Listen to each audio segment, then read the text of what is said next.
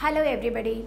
In this session, we are going to study the topic sequences and series.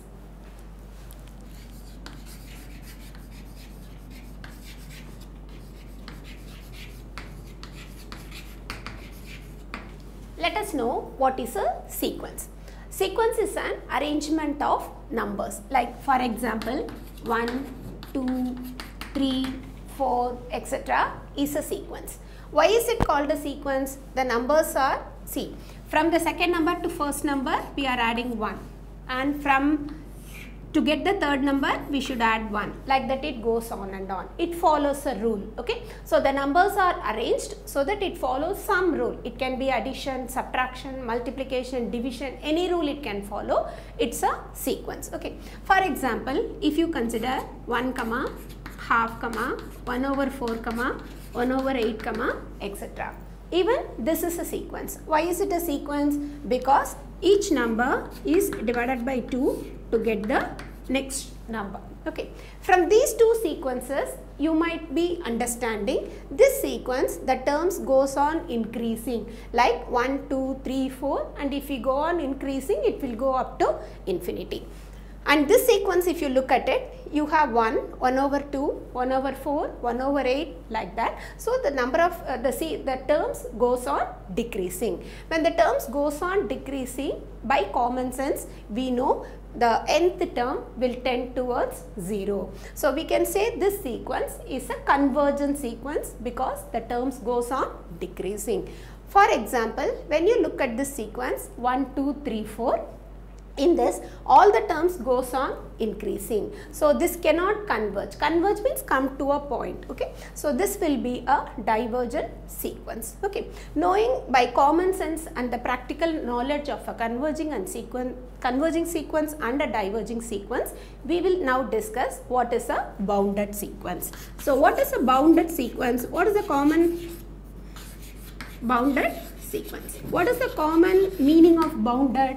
Bounded means you have the upper bound or you can have the lower bound also. Suppose if, if the terms of the sequence are A1, A2, A3 etc. AN and it goes on and on and if each term of the sequence is less than a particular number L. For example, a1 is less than L, A2 is less than L and like that. AN is less than L and it goes on. And all the terms are less than a particular number. The sequence is called a bounded sequence. Means all the elements of it are less than a number L. So, we are supposed to find that number to get to say whether the sequence is bounded or not. So, these are few types of sequence.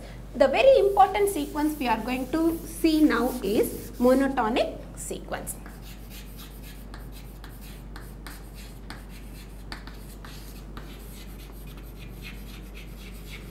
What is a monotonic sequence?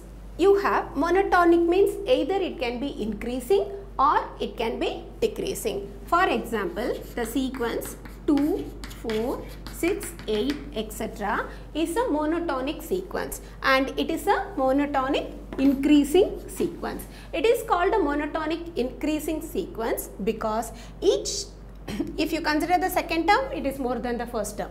Consider the third term it is more than the second term. So, each term goes on increasing. So, it is a monotonic increasing sequence. Same way suppose I have a sequence 4, 2, 0, negative 2, negative 4 etc. This is again a monotonic sequence but the second term is smaller than the first term and the third term is smaller than the second term. So, each term goes on decreasing. When the terms goes on decreasing, it is called a monotonic decreasing sequence. So, by common sense and practicality of the sequences, you know monotonic increasing sequences will be divergent because the terms goes on increasing and the monotonic decreasing sequences will be converging sequences because the terms goes on decreasing. So, it will be a convergent sequence for a particular value. But when you look at this sequence, it is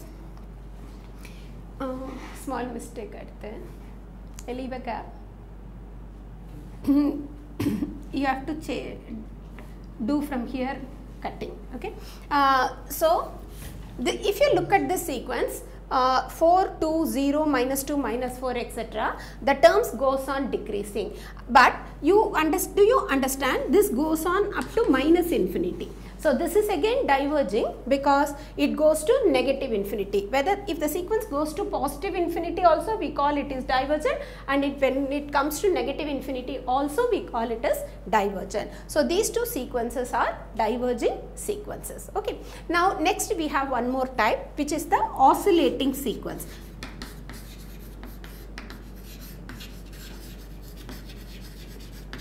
What is the meaning of an oscillating sequence? Oscillating means it goes this side and that side. Okay. Suppose if I consider the sequence minus 1 to the power of n.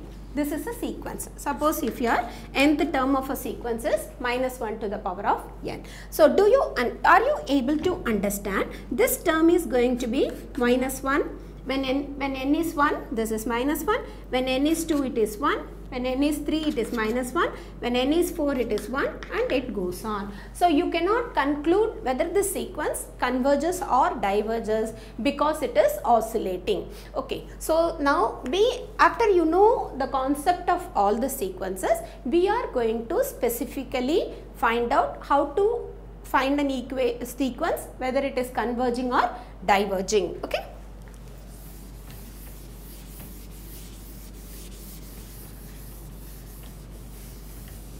So the first very important rule we are going to do is if limit n tends to infinity the nth term of a equal sequence is finite we say the sequence is convergent. Please understand the nth term should be finite. That's what we have been explaining. In 2, 4, 6, 8 it goes on increasing. So it should be decreasing and it should be finite. So we are going to find limit n tends to infinity what happens to un we are going to calculate and we are going to find whether the sequence is convergent or not. Okay. We will do an example.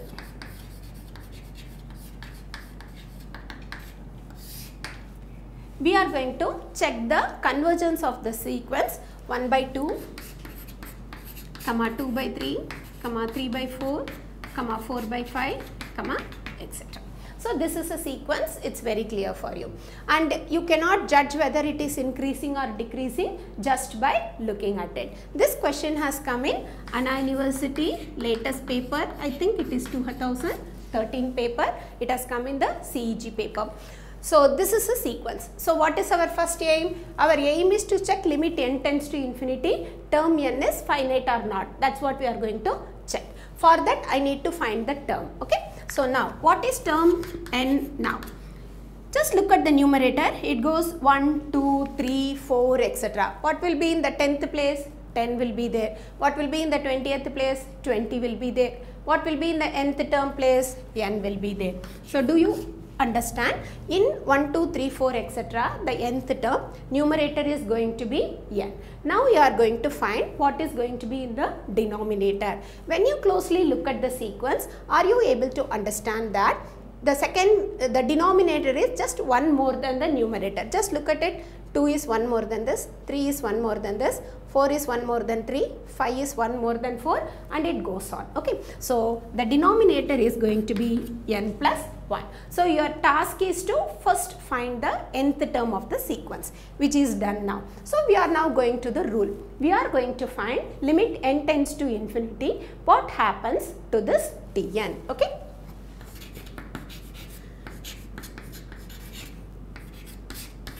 n plus 1 and as you know how do you find limit n tends to infinity? Take the highest power of n from the numerator. Take the highest power of n common from the denominator. In the numerator we don't have anything to take out because there is only n. Please write it as it is. And from the denominator you take out n common. So you get 1 plus 1 by n when you get that, do you understand? This n gets cancelled. So now when I apply this limit n tends to infinity, I get 1 plus 1 by 0.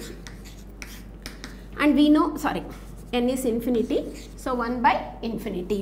So 1 plus 1 by infinity and you know 1 by infinity is 0 because 1 divided by a very big number is going to be 0. So this answer is going to be 1 plus 1 by 0 which is 1. Is one finite, uh, finite number or an infinite number?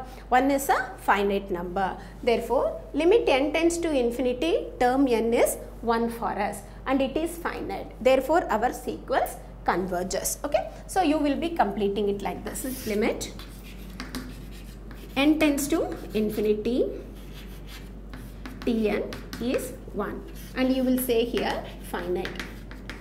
Because it is finite, the sequence, the given sequence converges.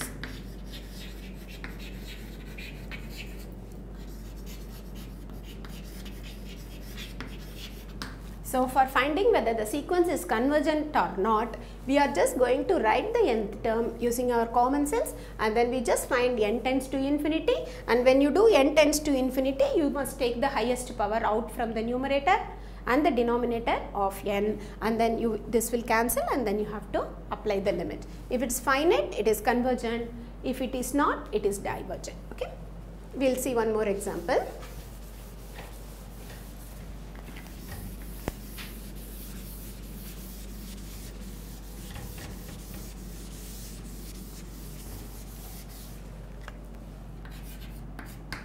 we are going to follow the same rule and we are going to check the term n is given by minus 1 power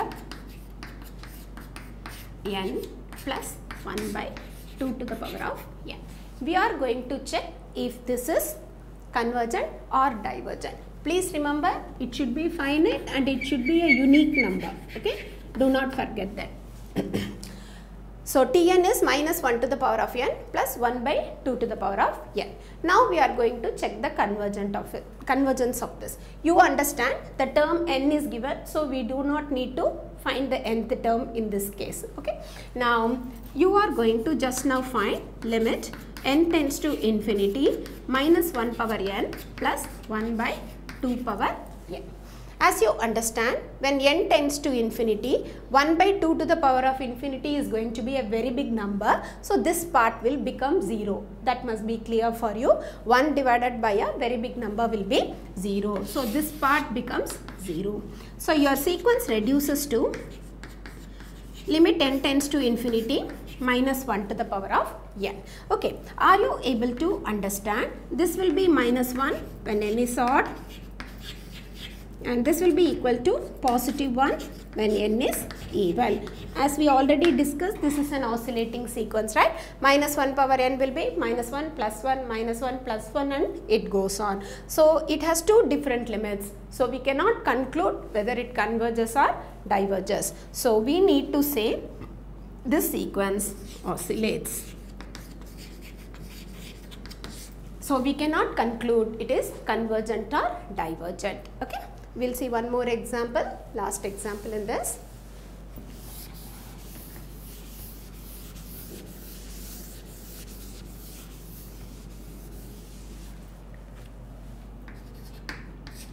Now, we are going to find, uh, I am going to give you Tn itself straight. So, there is no need for you to get the value for Tn.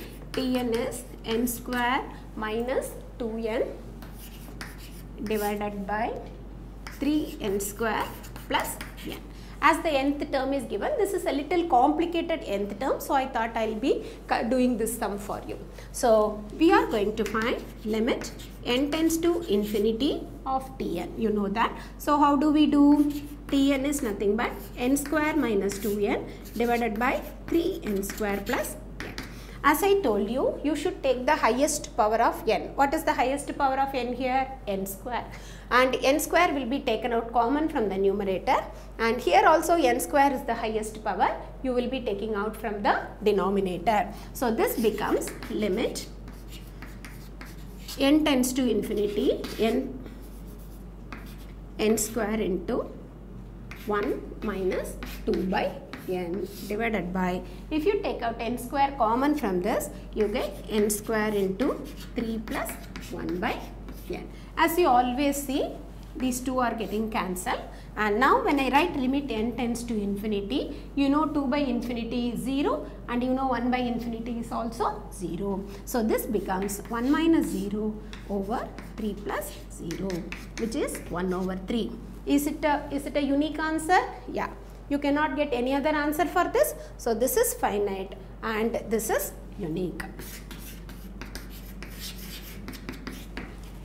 Therefore, this Tn, the sequence Tn converges.